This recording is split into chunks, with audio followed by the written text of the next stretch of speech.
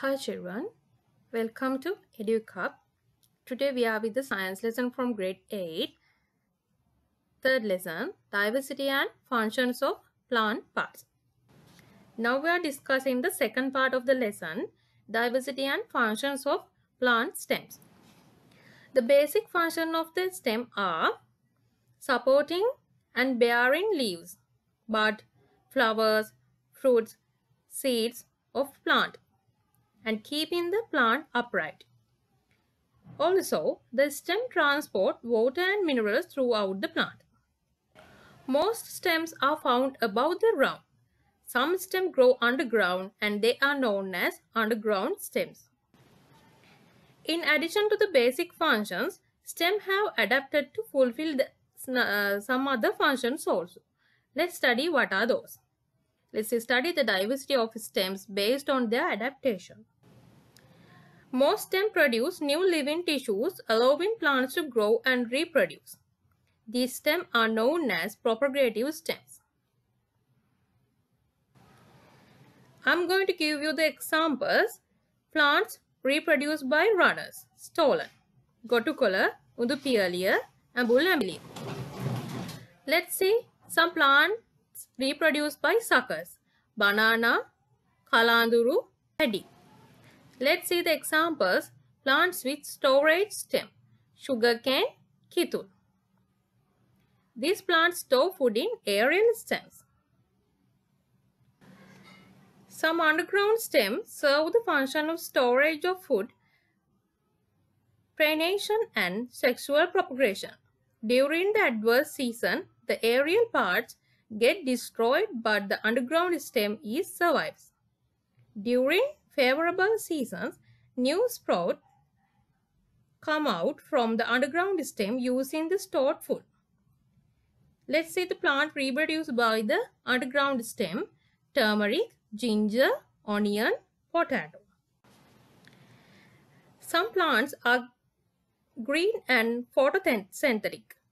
Some stem are called photosynthetic stems. Examples are cactus, daluk. Let's see some plants fixed to the support fixed to a support to climb up and absorb sunlight efficiently. Such stems are called climbing stems. Examples for climbing stems are Venival beans. Our next main topic is diversity and functions of plant roots. The basic function of root is anchor the plant in the soil, absorb water and minerals. There are some root adapted to satisfy other functions also. Other than the taproot and its branches, there are roots which arise from other parts of the plants. These roots are known as adventitious roots. There are roots that adapted to fulfill many other functions. Let's see what are the functions now we are going to talk about different types of root. Tuberous roots, stilt roots, climbing roots, aerial roots, respiratory roots and propagative roots. First one is tuberous roots. The roots that are swollen due to the storage of food are known as tuberous roots. Some tuberous roots allow the plant to survive in unfavorable seasons. Food can be stored either in the taproot or in adventitious roots. Under tuberous root, there are types. Storage of food in the taproot and storage food in, food in adventitious roots. Let's see the examples for plants that store food in taproot. Carrot, radish, beet. Let's see the examples for storage food in adventitious roots. Manioc, sweet potato. Next one is prop roots.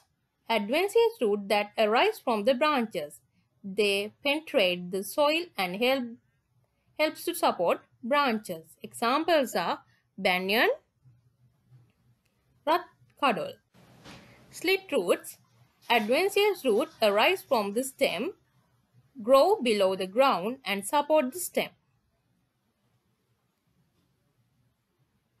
Vatakeya, Rampa, Mahakadol. Climbing roots. Roots that help the climbing stem. Creepers to fix the surface or support. Betel, pepper. Aerial roots. These roots absorb moisture from the atmosphere and supply the plant. These specialized roots are can be found mostly in epiphytes, orchids, vanilla. Respiratory roots. These roots absorb in air from the atmosphere and supply the plants.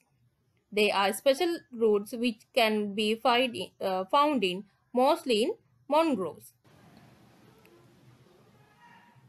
Sonneratia, Mahakadol. Propagative roots. These roots produce new plants. Examples are curry leaves, guava, belly. Plants play a vital role in the environment. Therefore, it is your duty to explore and collect specimens with minimum damage to the environment. This is what we have to learn throughout the lesson diversity and functions of the plant part. Let's meet with the next fourth lesson properties of matter. Thank you.